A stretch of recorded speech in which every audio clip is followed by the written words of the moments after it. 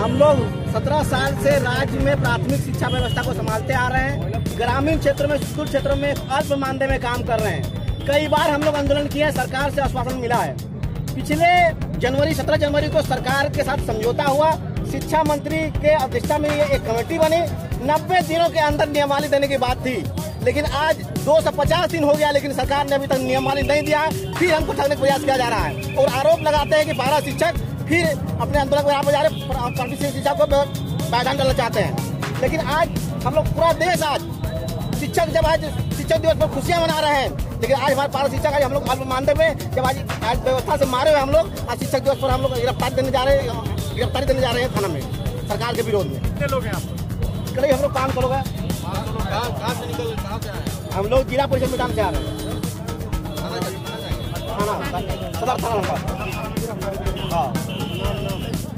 आपका नाम बता मोहम्मद शेख सिद्दीक जिला सचिव धनबाद